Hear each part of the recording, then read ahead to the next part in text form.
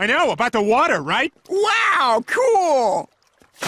Hey, Chris, come here. What? Why? Just come here. What is it, Dad? Does it feel like the water suddenly just got warmer? No. Oh, that's right. It's pee that makes it warmer.